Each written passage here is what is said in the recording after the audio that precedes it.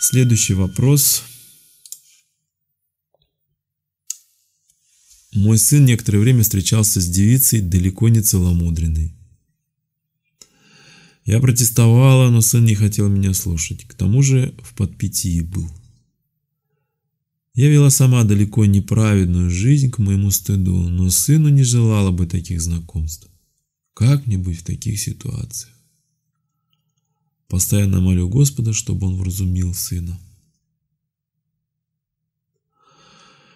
Э, тоже, к сожалению, как и предыдущему вопрошателю, я, наверное, вам ничего не смогу внятного, вразумительного сказать, но уже по другой причине. Здесь я не могу сказать, потому что очень тонко здесь все.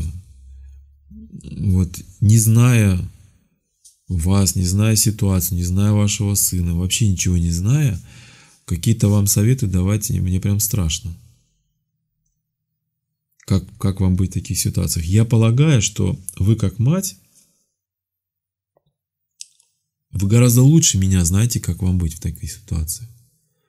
Просто у вас какое-то смущение и немножко растерянность, неуверенность, а вдруг я неправильно делаю, а может быть вот по-другому сделать. И вы ищете какой-то какого-то там утверждающего слова от меня или от кого-нибудь еще, э, который бы вас как-то там укрепил в чем-то там, в своих каких-то мыслях. Но в любом случае вам самой нужно решать эти все проблемы, потому, все эти вопросы, как быть, как, потому что вы знаете ситуацию в полноте.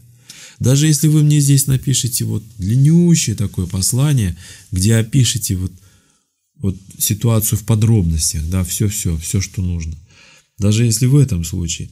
И то я все равно не всех тонкостей буду знать, что-то не буду вообще учитывать, чему-то я придам больше значений, чем следует, чему-то придам меньше значений, чем следует, и в итоге картина, которую вы мне обрисуете, она в моем сознании все равно будет неадекватна той реальности, в которой вы живете. Поэтому мой совет будет ну, куцем.